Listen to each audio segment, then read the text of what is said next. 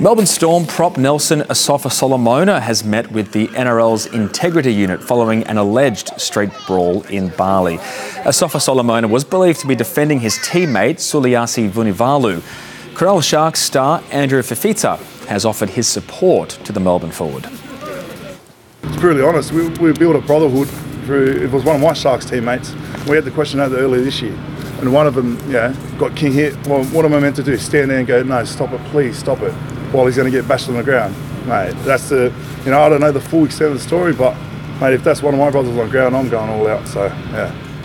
Fifita is among a host of NRL players preparing for the Rugby League Nines World Cup, which begins on Friday in Sydney.